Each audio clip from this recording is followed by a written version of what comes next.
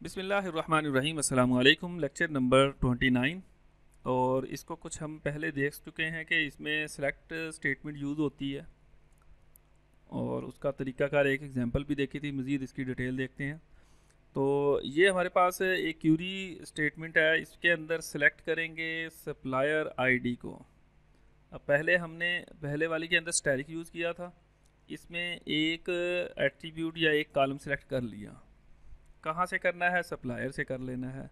तो यहाँ तक तो कॉलम सेलेक्ट हो गया। ठीक है? तो एक कॉलम सेलेक्ट हो जाएगा। अब मज़ीद उस पर कंडीशन लग जाएगी कि सप्लायर नेम जो है वो आईबीएम है। यहाँ तक ये जो प्रीवियस किया था हमने। एक कंडीशन ये होगी, दूसरा वर्ड आर यूज़ हुआ है। या सप्लायर की जो सिटी है वो कराची हो। तो ये दोनों कह लें कि ना कंडीशंस दो हैं। सिलेक्ट कर रहे हैं हम आईडी उसकी सिर्फ़ और कंडीशंस लगा रहे हैं सप्लायर नेम के ऊपर और सप्लायर की सिटी के ऊपर। तो या तो सप्लायर आईबीएम नेम हो या कराची सिटी हो उसकी तो दो कॉलम होंगे जिसके अंदर ये चीज़ें मेंशन होंगी कि नेम सप्लायर के सिटी तो उन दोनों का डाटा बेस वो बनेगी सिलेक्ट आईडी आएगी हमारे पास। तो ये वाली कंडीशन इस तरह एग्जीक्यूट होगी। अब मज़ीद कह लें कि ना वेयर क्लूज विद द कह लें कि ना मल्टीपल कंडीशंस आ गई। अगर हम एक से ज़्यादा कंडीशन अप्लाई करनी है तो ये उसके लिए आ जाएगा कि सिलेक्ट करो सप्लायर डॉट सप्लायर नेम और आर्डर डॉट आर्डर आईडी अब इसमें एक से ज़्यादा अगर टेबल से डाटा कलेक्ट करना है तो ये है टेबल का नाम और ये भी टेबल का नाम। टेबल का नाम डॉट के साथ जब हम कॉलम का नाम लिखेंगे तो इसका मतलब सप्लायर नेम पड़ा हुआ है सप्लायर के अंदर। और आर्डर आईडी जो है, वो आर्डर वाले टेबल में पड़ा है। लिहाजा आर्डर आईडी से आर्डर आईडी आर्डर के टेबल से लो सप्लायर नेम सप्लायर वाले टेबल से लो। अब चूँकि दोनों हैं तो ये देखें दोनों टेबल सेलेक्ट किए हैं। सप्लायर कॉमा आर्डर्स तो एक से ज़्यादा टेबल्स को का इस तरह कह लें कि सिलेक्ट किया जाएगा। अच्छा इसमें ज़रूरी नहीं है कि साथ में टेबल वो लिखा जाए सप्लायर डॉट सप्लायर नेम अकेला सप्लायर नेम भी लिख लेंगे तब भी काफ़ी होगा। आर्डर आईडी लिखेंगे तब भी काफ़ी हाँ बाज़ात ये होता है कि इस इस टेबल के अंदर भी आर्डर आईडी है या अकेला आईडी है, इसमें भी अकेला आईडी है। तो फिर हम साथ में टेबल लिखना मेंशन करना ज़रूरी है।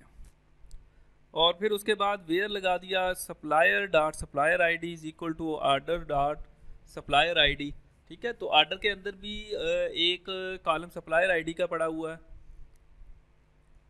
और सप्लायर के अंदर भी सप्लायर आईडी का पड़ा है।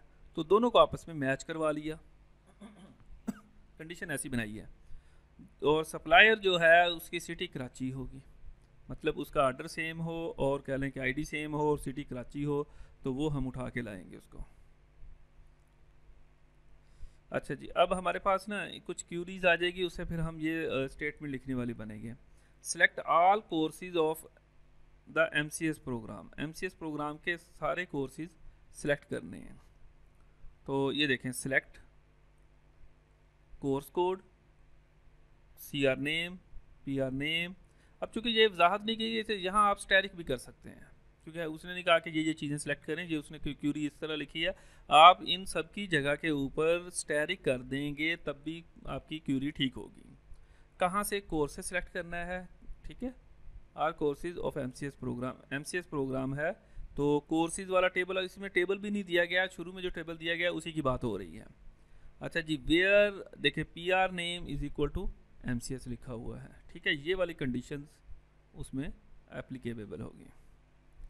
List the course name, offer to the program, other than M C S M C S के अलावा तो देखें, शुरू में हम नाट लगा देंगे, इसी स्टेटमेंट के शुरू में नाट लग जाएगा। Where not program name is M C S देखें एम सी एस सेलेक्ट होगा, लेकिन नाट ऑपरेट क्या करेगा, उसको नाट पे ले जाएगा, यानी कि उल्ट हो जाएगा कि एम सी एस ना हो, बाकी कुछ भी हो सकता है। बाकी चीज़ें वैसी की वैसी हैं।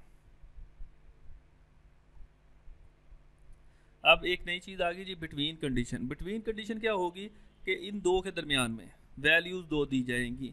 बाकी वही होगा सेलेक्ट करें कॉलम्स को टेबल्स को सिलेक्ट कर लें वेयर के अंदर जो है ना, वो कॉलम वन बिटवीन जो है, वो वैल्यू वन और वैल्यू टू ये एक कॉलम्स के दरमियान में जो वैल्यूज़ होंगी, ये उसके ऊपर लगेगा।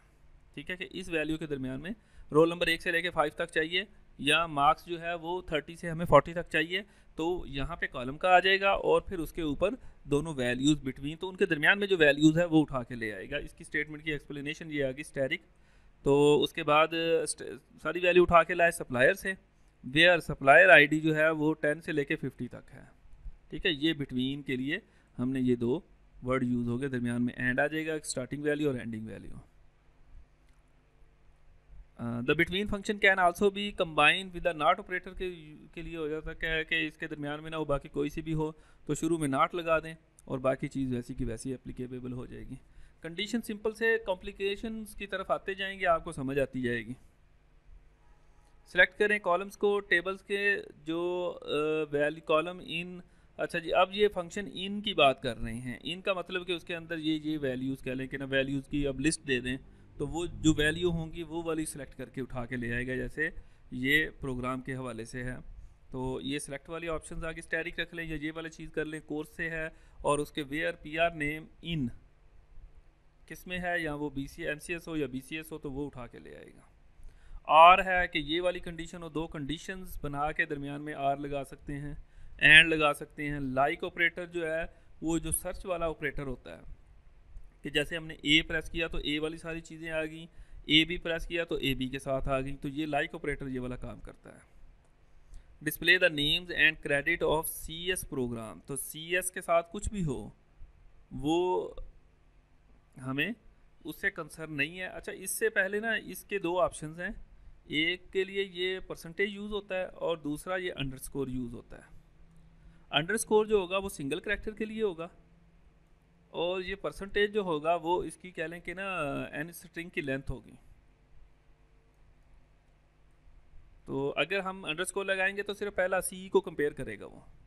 और अगर हम हमें दो करेक्टर चाहिए, दो से ज़्यादा चाहिए तो फिर हम परसेंटेज सी एस कर दिया तो वो इस इस तरह कह लें कि सर्च करके ले आएगा। ये ये वाली चीज़ें सर्च करेगा, इस पर मैं बात नहीं कर रहा हूँ, वहाँ से करेगा वेयर जो पी आर नेम है ना प्रोग्राम नेम लाइक ऑपरेटर क्या करेगा? आगे उसको बता दिया कि सी एस की तरह होगा। नेक्स्ट आ गया जी ऑर्डर बाय ऑर्डर बाय होता है कि तरतीब किस तरह से दे, या सॉर्टिंग का, के लिए यूज़ होता है। अब सॉर्टिंग दो तरह से होती है।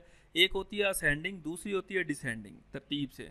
वन टू थ्री के हिसाब से आए, या थ्री टू वन के हिसाब से आए तो ये डिसेंडिंग आ गई, ऊपर से नीचे, ये है असेंडिंग आ गई। तो ऑर्डर बाय की एग्जांपल देख लेते हैं मेरे ख्याल नेक्स्ट लेक्चर के अंदर है।